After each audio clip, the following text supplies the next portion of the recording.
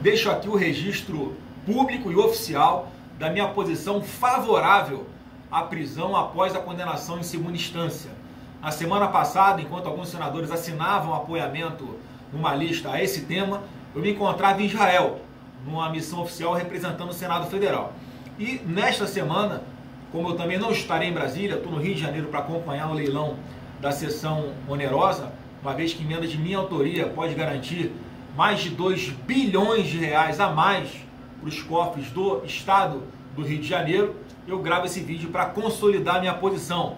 E mais uma vez reafirmo: qualquer proposta de emenda à Constituição, projeto de lei, no sentido de não deixar mais dúvidas quanto à possibilidade de prisão após a condenação em segunda instância, terá o meu apoio incondicional e o meu voto favorável.